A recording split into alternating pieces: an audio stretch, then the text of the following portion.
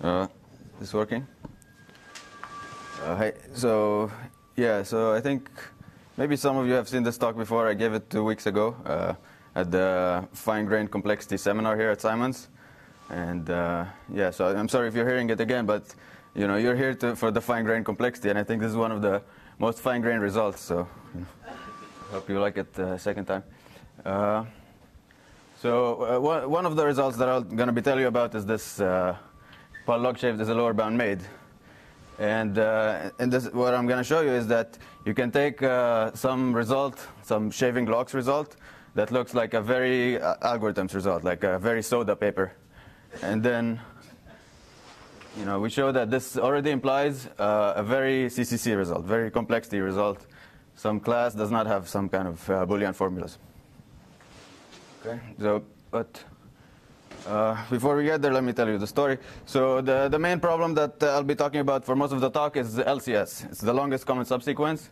Very, very basic and simple. You have two uh, strings, two sequences of length n, and you ask what is the longest sequence that appears in both of them as a, as a subsequence. In this example, this is subsequence that appears in both, uh, and you can think of it as some kind of matching problem, trying to find the maximum matching between uh, the two strings. Okay, so in undergrad, you've all seen an, an n squared time algorithm. Um, it's known how to shave a log squared factor, uh, uh, but this is this is the best known, and you know, very very you know, important question is can you do better? Um, if you don't like LCS, you can think about edit distance as well in this talk. So it's the this famous problem. You have two sequences, and you ask what is the minimum number of uh, insertions, deletions, and substitutions that you need in order to transform one into the other. Again, it's pretty, it's pretty basic as an easy definition, uh, but it also has uh, a lot of applications, a very important problem in practice. Uh, and again, the best algorithm is this n squared over log squared. and if you generalize edit distance a bit further, you can get some problems that are very, very important for uh, biology, for example. Uh, like this local alignment problem, you're given two DNA sequences and you, you want to find out the two kind of parts that are most similar to each other under some similarity that is defined with some uh, scoring matrix. Um, and uh, people want to solve this problem on huge sequences, n is like a few billions. And uh, in this case, this n squared over log squared is, is just too slow.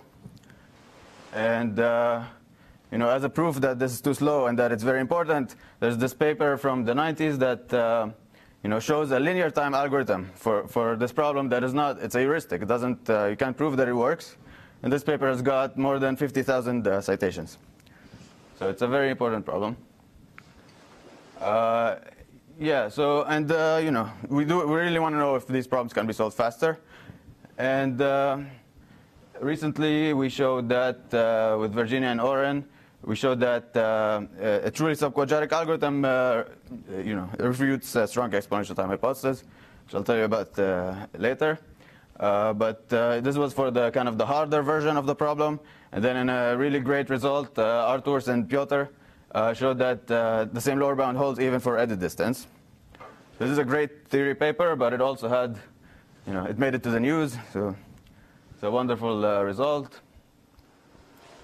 Um, yeah, and so uh, and follow-up works uh, extended this lower bound for edit distance also to uh, LCS, longest common subsequence problem. Uh, a nice work by uh, Karl and Marvin uh, kind of show, gives a general framework for getting these strong ETH lower bounds. It says that any problem that asks you to compute some similarity measure over two sequences, and when this similarity measure has some kind of property, it admits alignment gadgets, then uh, you're going to get this uh, quadratic lower bound under a strong ETH. And uh, some examples that they show in their framework is uh, edit distance in LCS even on binary sequences. So the problem is still hard even when the alphabet is binary. Another example is this dynamic time warping distance from uh, uh, like speech recognition.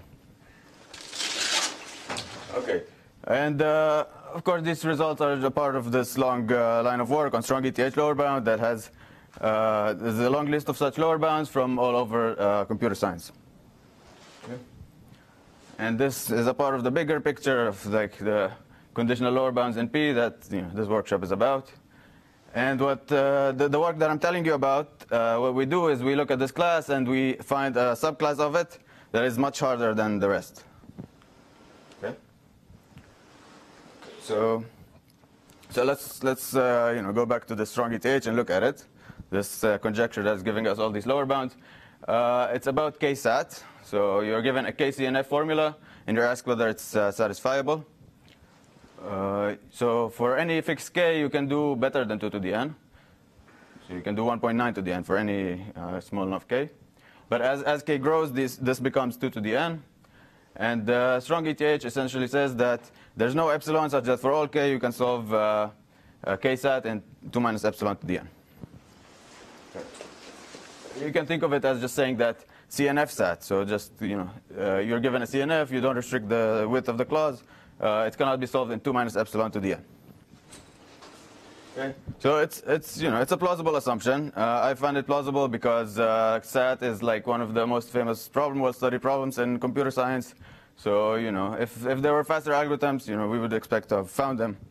Um, but uh, there there aren't that many uh, reasons to believe it. So uh, if it's false, then you know so it's known that it, like, it's true for certain kinds of algorithms and so on, but uh, there's no very surprising consequences of, of it being false.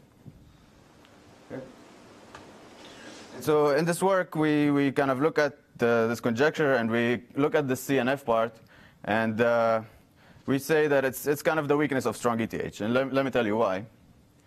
So a, gen a general SAT problem is, looks like this. You're given some function, uh, some function b that takes some uh, n bits and outputs uh, one bit. And SAT asks you whether this function is satisfiable. Is there, is there some input that makes it output 1? And uh, if you just you know treat this function as a black box, you don't try to analyze it or anything, then of course you need kind of 2 to the n uh, queries for this. So you're going to need 2 to the n time. But of course, the clever algorithm is going to try to analyze the, the, the function that it's given to him with some representation. And, uh, and the, the, hardness of SAT depends on how obfuscating this uh, representation is. So for example, if the function is given in a DNF form, or of ANDs, then you know it's super easy to, to solve SAT on these things. You know, just check whether you know it's super trivial. You can do it in linear time. On the other hand, if the function is represented with a complex, uh, you know, code of uh, some Turing machine or some complex thing that is you know trying to obfuscate uh, the kind of the functionality of the function, then you know we have no idea how, how to figure out uh, whether it's satisfiable. another example is if you're just giving some complex circuit. Uh, you know, with current kind of ideas that we have in computer science, we don't know how to analyze circuits and understand whether they're satisfiable.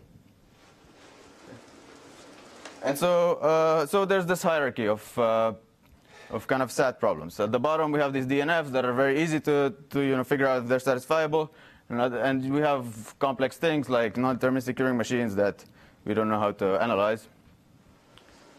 And in the middle, of course, there's, there's uh, many things. Uh, for example, uh, if you look at uh, polylog depth circuits, the class NC, then these things are capable of computing many, many kind of complex functions like one-way functions and uh, all sorts of things from uh, cryptography that you know they try to obfuscate their behavior.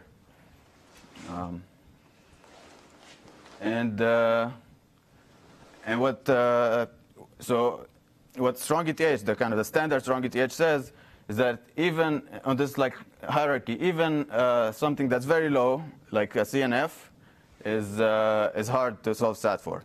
Even when you're given a CNF, you cannot do 2 minus epsilon to the n. And because of the sparsification lemma, you can even assume that the CNF has linear size. So even when I give you a linear size uh, CNF, you cannot analyze it and, and solve SAT.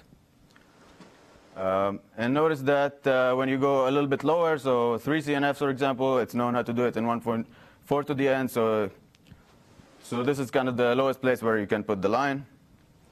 And, uh, and the higher up you go, you can define the corresponding SAT. Uh, and then it, it, becomes more and more plausible.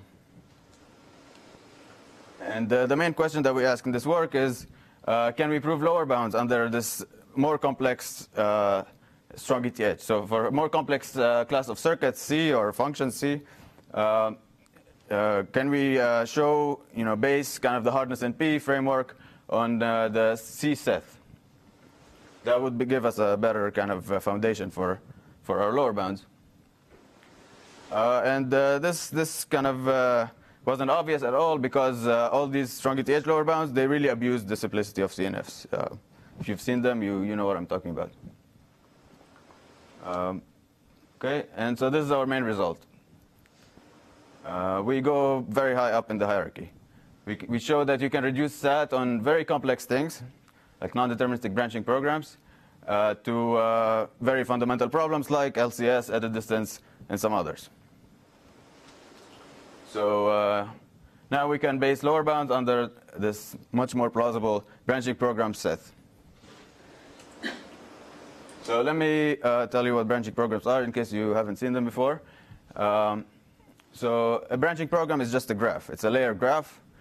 It has uh, some width, so each layer has W nodes. Think of W as three or five. Um, it has T layers. This is the, the length of the program. And uh, you think of T as being some polynomial. And uh, it's a computational model.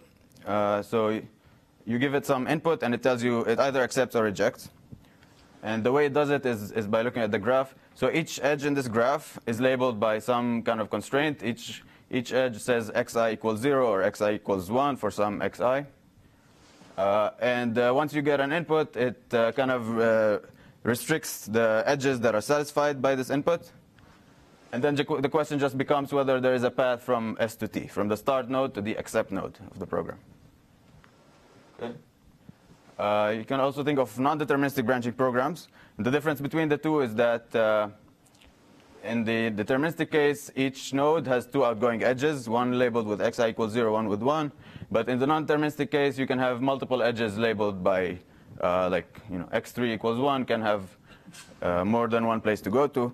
And so when you restrict the, the input, when you're given some input and you look at the restricted program, in the deterministic case, it's just the degrees are all 1, but in general, it can be like, you know, it restricts some subgraph, and it's a reachability problem. Can S reach T in this uh, subgraph? And uh, so the branching program SAT uh, is you're given some branching program on n variables. Oh, so notice that uh, uh, the, each variable is going to appear many times in this program. The length is like polynomial, n to the 10, but there's only n variables, so each variable appears many times. So I give you some branching program on n variables, uh, say polynomial length, constant width, and uh, I ask you if it's satisfiable. You know, so this is the branching program SAT. Uh, a naive algorithm just tries all inputs and uh, just you know checks reachability or whatever, and it runs in uh, like two to the n time essentially. And the branching program says says that you cannot do, solve this in 1.99 to the n. Um, so here's, here's our main result. So it's, it's a reduction. Uh, we show that uh, you can take SAT on non-deterministic branching programs on n variables with w and length t. And you can reduce it either to edit distance on uh, binary sequences or LCS on binary sequences, where the length of these sequences is 2 to the n over 2, which is the big term, times some uh, dependence on the length and the, and the width, and this, notice that uh, in the kind of standard case where uh, the length is polynomial and the width is constant, this is a polynomial uh, factor. So it's, uh, it's much smaller than this 2 to the n over 2.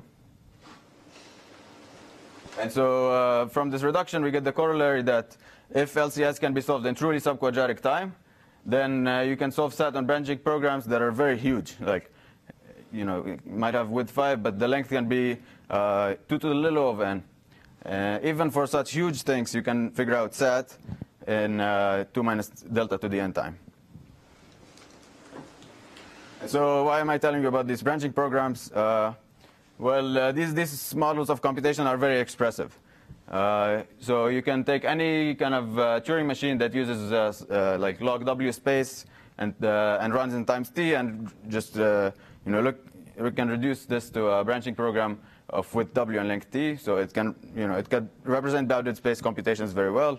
Uh, there's also the famous Barrington's theorem that says that any circuit of depth d can be, uh, there's an equivalent branching program on the same inputs uh, that, uh, that has width 5 and 4 to the d length. So for, this implies that if you have NC1 circuits, log depth circuits, then they can be just translated into polynomial length branching programs. Even if you had NC circuits, polylog depth circuits, then they still uh, have branch programs of pseudo polynomial size, uh, which will still be captured by our, uh, our, our, theorem. And so uh, because of this expressibility of the branching programs, we get uh, these corollaries. So if you solve edit distance or, or LCS in truly subquadratic time, you solve SAT on huge things faster. So one thing is any circuit of little of n depth. So it's much bigger than the class NC. Uh, you can even solve SAT on non-deterministic Turing machines as long as they use little of square root n space. Uh, and even on arbitrary Boolean formulas of 2 to the little of n size. So yeah, so it's going to be very hard to solve LCS faster. That's, that's that's what I'm saying. And uh, yeah, I think it's you know it's evident that these consequences are big. But just to give you more kind of to convince you, let me tell you about uh, what they would imply, what these consequences would imply. So for that, I'm going to tell you about the circuit lower bounds barrier. What is this thing? So so this is kind of an argument, not not that uh, not that you know that some consequence is going to be very surprising or like it'll imply something that we think is false. It'll just say that the consequence that you get from something, from some algorithm, say, is going to be, uh, it's believed to be very hard to show. And so getting such algorithm is going to require you to, you know, to invent like a lot of new techniques. Okay. So, uh, you know, to get this connection to circuit lower bounds, we're going to use this uh, uh, line of work of uh, Ryan, which uh, basically says that uh, from faster SAT algorithms, you can get uh, circuit lower bounds. And uh, what his work shows is that if you solve SAT on circuits from some class C in 2 to the n over some polynomial in n, like n to the 10, so you improve exhaustive search, then uh, you get some, uh, that some complexity class is not in some circuit class. And using this connection, he has this famous result that uh, the class uh, NEXP is not in, uh, in ACC 0. Uh, okay, so it, it, was known before that, that there was some circuit lower bounds barrier from uh, strong ETH. So it's known that refuting strong ETH implies some new lower bound because uh, you can take, there are some circuits, these series parallel circuits, that can translate well into CNFs. And then uh, from faster CNF, you can get some uh, you know, new circuit lower bounds. But uh, you know, just to kind of explain what I, how I am thinking of these things uh, without like complexity language. Uh, so th this is what this this means. So here, there's this line where complex theory is today, and there's you know, it goes on to where we would like to be, where the things we, we really want to show. And uh, this consequence that you get from strong ETH being false is really a tiny, tiny improvement. Uh, whereas what we get, you know, from the new uh, reduction uh, is that uh, faster LCS and edit distance uh, implies circuit lower bound that seem very, very far in the future.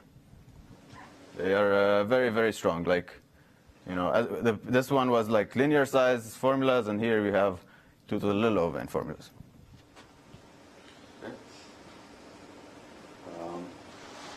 Yeah, so what this kind of shows is, you know, if you if you want to be a circuit lower bounds millionaire, you know, try to solve LCS faster. That's one way to do it. Okay, so this was uh, our first result. Uh, we basically took these strong ETH lower bounds and we say you don't need to assume strong ETH, you can assume something much more believable. The second, uh, the second result that I'm going to tell you about that you get from this work is uh, is that even shaving logs is going to be hard. There's a barrier for that. Um, all right, so now let's look at mildly subquadratic algorithms. So as I told you, the current best algorithm for these problems is this log squared improvement. And it's been a long-standing open question to improve this log squared. So you get anything better than that. And uh, you know, when, when you have such a, an important problem like edit distance, this is, this is a very important question. Like we really want to know the exact complexity of these problems. And uh, recent techniques showed uh, kind of similar, uh you know, shaving log uh, breakthroughs for other very fundamental problems, like uh, for 3SUM on real numbers, and and this is, and this work by Ryan for all pair shortest paths.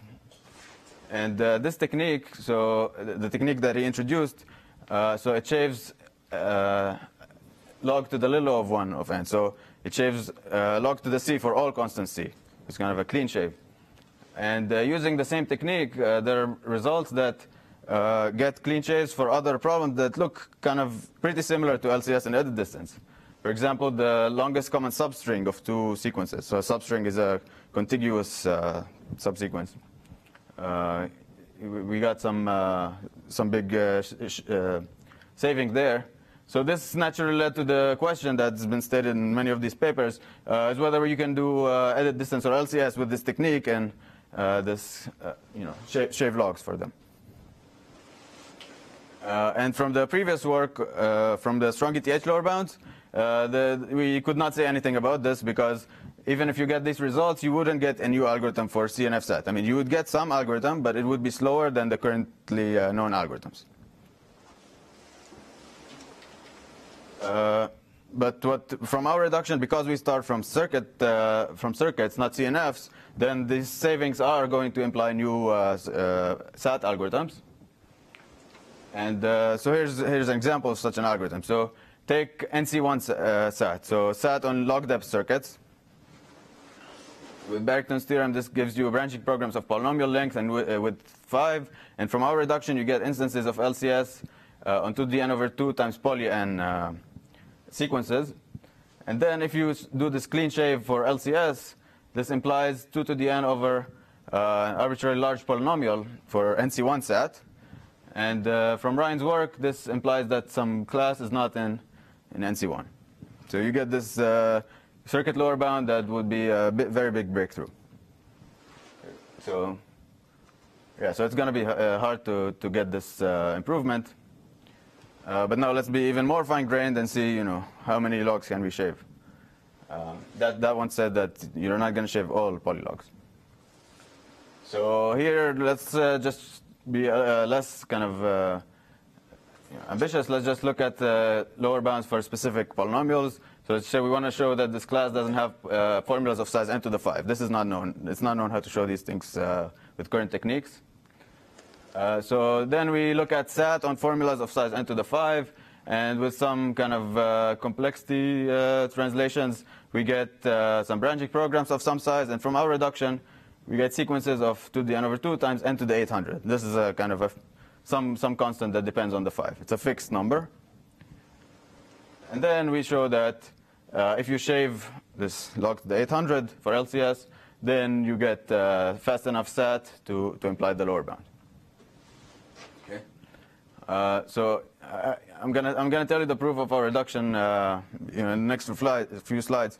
But uh, so when I gave this talk two weeks ago, you know, it was so clear that the, the people after the talk, like you know, understood it so well that they told me how to improve it, uh, and they they observed that uh, we don't even need to go through branching programs. we can just reduce formula SAT directly from our gadgets to to LCS. And when you do this, you get kind of a tighter connection. Instead of 800, you can go down to 80. And uh, so we're going, we're getting down with these uh, logs. And of course, we would, we would like to get tight bounds. We would like to kind of give reasons for why even another, uh, you know, log log is hard. Um, yeah, but I, I, think we're, we're getting there. I'll say a bit more about this uh, in the end. Uh, and so one kind of cool uh, thing that this says is that when undergrads, you know, we're giving them LCS in, in our you know, basic classes and you know, they think whether they can solve it faster and so on. What they're really trying to do is that they're trying to prove new circuit lower bounds. All right, so the rest of the talk is gonna, uh, I'm gonna tell you about the reduction. I'm gonna show you how this works, how you can uh, take branching programs and, and uh, simulate them with LCS. How LCS can, you know, encode an algorithm for, uh, for branching program SAT. Uh, but let me just say that uh, So yeah, I'm going to do this one reduction to LCS. Gonna I'm going to use a kind of a large alphabet and so on. But in the paper, uh, we show that any problem for which the the general framework of Karl and Marvin that shows strong ETH lower bounds, uh, the strong ETH can be replaced with uh, branching program strong ETH, and so you can get the same lower bound for uh, edit distance LCS on binary sequences, for example. Uh, but we also show lower bounds for things that are not in that framework, like computing the uh, LCS of k sequences, so it's an n to the k problem, and we show that improving, improvement over that are also hard. Uh, but uh, so we don't know how to replace all of the strong ETH lower bounds with, with this new thing. Some very interesting open questions uh, are about, say, the diameter of a sparse graph, the reachability in dynamic graphs, and subtree isomorphism. These are problems that we do have strong ETH lower bounds, but we don't know how to get this harder uh, hard, hardness. So, you know, when I show you the, if you're familiar with these strong ETH lower bounds, it'll be uh, cool to think about how wide it, it, uh, it, breaks for these problems and, and whether you can try to do it in some other way. Okay, so here, here's the outline for, uh, for the reduction. Uh, so the, I'm going to restrict myself to width 5 and the polynomial uh, length. Uh, and so we're going to start from branching program SAT. The first step is going to is going to be an easy step uh, to some uh, some kind of pair problem that it's kind of like the orthogonal pairs problem when when you work with strong ETH. Um, and then we're going to reduce this to some LCS pair problem and then to LCS. Uh, so what do I mean? Let me just uh, go ahead and start doing the steps. So, so uh, this is our first step. So we take uh, we take branching program SAT. Say we're given some branching program. And we, we're trying to figure out if there's some input that makes it, uh, uh, you know, makes S able to reach T. And so our first step is just going to be to split the inputs into two sets. So look at all bit vectors of length n over 2 and put, put them here and then put them there. Call these A, call them B. What I just reformulated the SAT problem to this problem where I ask you to find uh, one bit vector from here uh, and uh, one bit, bit, vector from here that together, when you put them together as a satisfying assignment, they satisfy the branching program. Okay, so but when you pick one from here, it uh, you set half of the variables. So when you set half of the variables, you get some edges. The, you restrict some of the edges in the branching program that you can use, and then picking the other uh, half restricts some other edges. And then the question is, you know, can you find a pair that makes it so that you, you can reach uh, your, your target? So this, uh, you know, is not going to be useful for the rest of the proof, but it's a cool way to think about this uh, problem that we're uh, reducing from is, is that uh, it's kind of a graph problem now. You have the, some underlying graph on, say, polynomial number of nodes, and then you're given two lists of subgraphs, uh, long lists, like 2 to the n over 2 subgraphs. Each one is, you know, telling you some edges. And then you're trying to find a pair such that when you put the, the edges together, you get a path from S to T. So this might be useful for future uh, reductions. Okay. Uh, so back to, to our proof. So uh, after you kind of split the variables into two sets and you're trying to find a pair that uh, satisfy the branching program, now we start talking about LCS. So what we're going to do is we're going to take each uh, bit vector and we're going to transform it into some sequence over some alphabet. Uh, we're going to do this for each one, uh, you know, each one on the first list and the second list.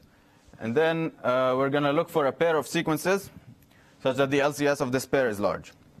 This is what I call the LCS pair problem. We're given two lists of sequences. They're pretty short. They're going to be like polynomial length, whereas the number is exponential. Uh, and you're trying to find a pair that has a large LCS. Um, and then we're going to take this LCS pair problem and we're going to reduce it to, uh, to LCS. So, by, so in LCS you only have, you have two sequences, not, uh, like, not lists. And uh, this step is just going to be from previous work. I'm not going to uh, tell you about it. If you haven't seen this before, it roughly looks like this. You take these, uh, the first list of, list of sequences, you just put them in one sequence with some padding between, some cleverly chosen padding. Then you take the second list and you put them in some other sequence. And then you argue that uh, if a, a, good pair existed, then the total LCS of these two sequences is going to be large. Okay. Uh, so back to the outline. So this is what I was saying. So you start from branching program SAT, you reduce it to the pair problem. This is just a reformulation. It's not, nothing's going on there. It's, it's a green arrow. It's very easy. Uh, then we are gonna, our main kind of thing is to uh, tell you how to get from, go from these bit vectors to these sequences, that uh, such that like the LCS is checking satisfiability. And then, uh, then once we are at this LCS pair, we just use previous work, and, and then we go to LCS. And let me just compare this with the strong ETH lower bounds. So uh, here, the, the difference is, is, essentially in this arrow.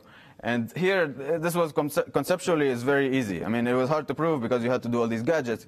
But what was really going on here is you had, you had two uh, bit vectors, and you were asking, you know, we were trying to find two ve vectors such that in every coordinate, one of them is zero. This was this question. And then reducing it to LCS was conceptually very easy. You just take each coordinate and you know turn it into some sequence, and such that two kind of sequences tell you if there's one of them is zero, then you combine them. You know, it was simple. But here it's it's it's not because you know the the two the sequences are trying to check uh, you know reachability in some branching program and so on. Right. Okay, so, but, so this is how we're going to do it. Um, so, all right, so now fi fix some branching program. You know, th this is the input to the reduction. It's some branching program. Uh, fix it. And then, uh, and now fix a pair of uh, bit strings, A and B. For this bit string, we're, for these A and B, we're gonna, I'm gonna tell you how to produce uh, the two gadgets. And I'm gonna show you that these gadgets are, are gonna work well. So what we really want is that uh, the LCS of these two gadgets is large when there's a path from S to T when you restrict your, uh, your inputs according to A and B. And uh, to do this, we're going to do a more general construction of reachability gadgets. So for any pair of nodes in the branching programs U and V, we're going to construct some gadget. It's parameterized by uh, U and V and the, the, the bit, uh, bit string A, and similarly for B, such that uh, we can prove some properties of these gadgets. First property is the kind of important one. The LCS of this, these two sequences is going to be large, uh, larger some, some, than some parameter that depends on, on k. So k is the uh, so the length, the uh, u is at some layer, v is some layer, and the distance is 2 to the k. Uh, so the LCS will be large uh, when there's a path. Uh, and the, then the length of these gadgets is not going to be too bad. It's going to be exponential in k. Uh, and we're going to construct this in, in, linear time. And, uh, and once we have this, we're done. Because uh, then we just, you know, construct these gadgets for when, where u and v are just s and t. And then k is log the length of the branching program. And this exponential in the log is, is, uh, is going to become polynomial in the length. Okay, so how do we construct these gadgets? Uh, yes, yes. Yeah, in general, there's uh, there's some dependence on the width, so it's some uh, width to the constant times uh, k. Yeah. Um, okay, so here's the main idea. So we have some node u and some node v. We want to know if there's a path from u to v. Uh, we're just going to do this recursively. Uh, we're going to assume we we know whether there's a whether for, uh, we're going to look at the middle layer between them, look at the nodes there, and just say that you know this kind of uh, logical uh, equality. So there's a path from u to v if and only if uh, one of these things happen. Either there's a path from u to w1 and from w1 to v, or you know, or for, through w2 or w3. This is kind of uh, what uh, Savitch's theorem does.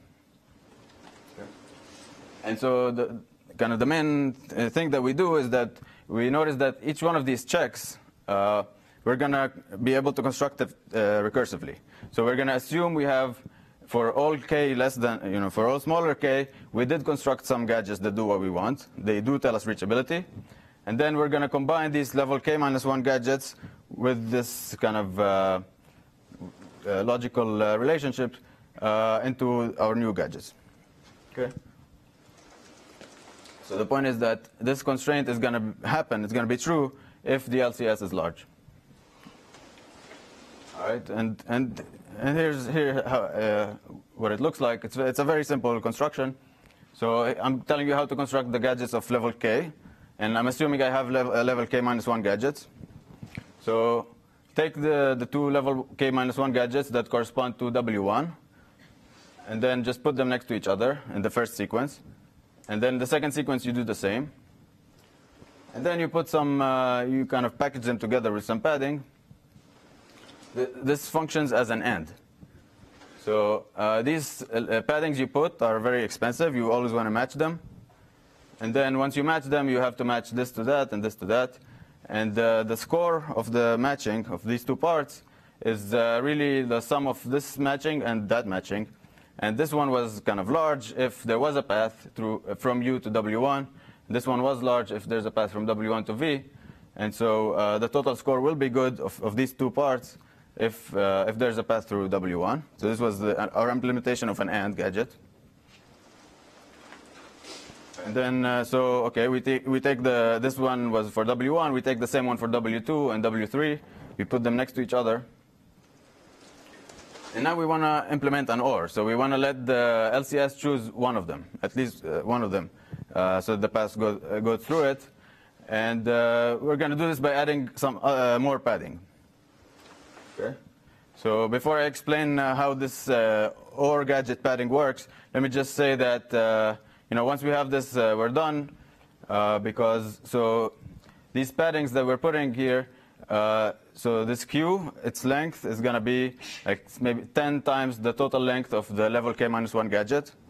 And then the more expensive ones, like the P and the, and the R, they're going to be, you know, 10 times that and 10 times that. But in total, the total length of this whole thing is maybe 10 to the 4 times the length of the, the lower level one. And so, you know, the higher you go in the, in the levels, you get uh, some exponential. Uh, the total length is going to be exponential in K. This is what we wanted. Okay, but but let me let me explain why it works. Uh, okay, so uh, R is the most expensive letter. Uh, if you don't match R, you lose. It's not, your LCS is not optimal. And there are only two R's in the first sequence. I'm, I'm talking about the case where we have three, uh, the width is three, but the same arguments work for uh, larger width. So you have, now you have, uh, these two R's must be matched. There are more R's here. So you can you have a choice uh, of where to match them. You can either match them to the right or match one right, one left, or both uh, to the left. But notice that uh, when you do these uh, decisions, so if you match them to the left, then the, these two parts can no longer be matched uh, to anything meaningful. So this kind of choice uh, said that you, you're really choosing this one. Okay? So let, us assume you did that. then the second most important letter is, is this P.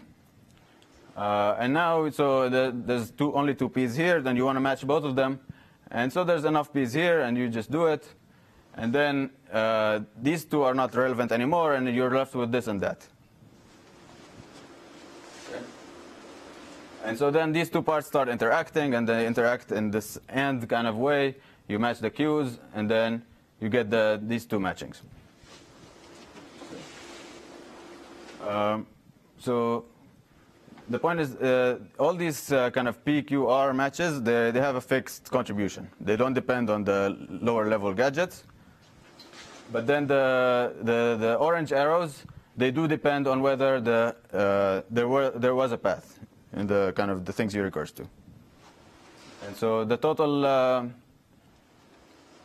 the total LCS of this thing is going to be large if and only if uh, you could do this, uh, you could find some W to go through.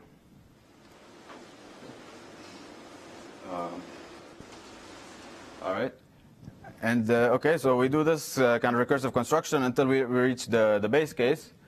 And uh, in this case, uh, the k is zero, and the two uh, nodes are on adjacent layers. And then we look at u and v, and uh, there's some edge between them, or there's not an edge between them. And then we, we want to define these gadgets. And now we start looking at the inputs. Up until now, we didn't look at, at the A and B, the bit strings. Um, okay. So.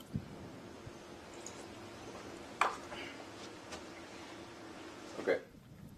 Uh, all right. So now look at this uh, this edge from U to V, and it's it's uh, labeled by some uh, variable xi. this, uh, this xi uh, either belongs to A or to B. So A is assigning some half of the variables, B is assigning some other half of the variables. I belongs to one of them. Say, say it belongs to A, and then we say that A is responsible for this variable, and it's responsible for this edge. Uh, and so we define A's gadget uh, this way. So A checks whether its bits are consistent with the edge. So it looks at xi, it checks what its Boolean value it's giving it, and then uh, if it's consistent with the edge, so if it's giving it 0 and the edge says 0, then it puts this letter v. Otherwise, it's not consistent. It doesn't agree with this edge. Something went wrong in the, like the LCS is trying to cheat us into taking a path that doesn't really exist. And then we put some uh, dollar sign. And in the other sequence in B, uh, so we, we basically do the same, except uh, this dollar sign never appears. So if we put a dollar sign here, uh, then we're not going to be able to match. Uh, and the only way we're going to get a match if both of them put a V. And they put V's only when they're both consistent. And, and so if, uh, if B was uh, not responsible for the edge, if the it doesn't know what this uh, assignment to xi is, it just puts a V anyway. So you only don't put a V when uh, you don't disagree with the edge. Right, so, and this is, this is the whole construction. Now let me just kind of give you a, a pictorial uh, representation of what's going on in the LCS. So say this is the, some level uh, K gadget that corresponds to some U and V. And we had this uh, three parts, each corresponding to uh, the three nodes in the middle. And uh, now the LCS is trying to find some path. And say it first chooses to take the first node in the uh, middle layer. So it's going to match this part and that part. And these parts are not going to be relevant. And then uh, the LCS is, is going to pick some node in the, here. Say it picks the second one, so the second one here starts uh, contributing, whereas the others don't, don't uh, participate anymore. Uh, whereas here in this part, maybe you chose the third one, so you go on with this, and so on. Okay, so that's the end of my proof. Um, let me just conclude with some uh, kind of recent progress. So uh, as I said, if you if you go do the same with the same gadgets, if you start from formulas, you can uh, take SAT on some kind of formulas of size s, uh, and get sequences of psi 2 to the n over 2 times s to the 80. And uh, by some kind of formulas, I mean uh, you can not only look at uh, and or formulas, but you can also think of other gates. Um, and uh, we are hoping to get 2 to the n over 2 times s. And I think we might be able to get uh, an s squared. Um, and so, like, you know, say, say you did get uh, 2 the n over 2 times s, then you can sh show that shaving a log to the c factor implies this runtime for, for formula SAT. And then, you know, these connections might show that uh, shaving another log for, for LCS will imply some new formula SAT algorithms. But this is this. Uh, we're still developing that and you know, trying to figure out what kind of statements we can say. Um, okay, so uh, so again, what we showed is that uh, in this strong ETH class, there's a harder subclass. You know, you can base it on a better conjecture. It even has uh, implications to circuit lower bounds. Uh, one interesting question is to see if these other classes, the 3SUM class or the APSP class, maybe they also have harder subclasses in them. It'll be interesting to, to find them. And of course, the other interesting question is to get some uh, these better lower bounds for other uh, problems in, in the strong ETH class. That's it. Thanks.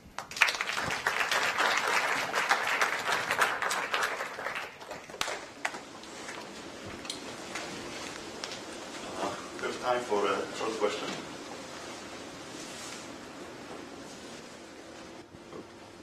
Um, are, have you have you found uh, many problems that are um, more than just SETH hard related to like circuit SAT? Like there's some larger class of circuits SAT where than just CNF where it's hard for those. Besides this problem, are there any other problems? Uh, yeah, currently uh, the list is uh, yeah LCS, edit distance, uh, some other similarity measures over sequences.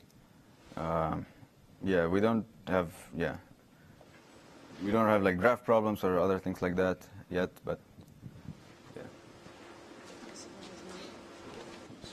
You said answering his question, there, there were, there are problems that are harder than CNFSAT, like MaxSat, where there were problems in polynomial time, uh, un, under the assumption that those problems require exponential time. Uh, yes, yes.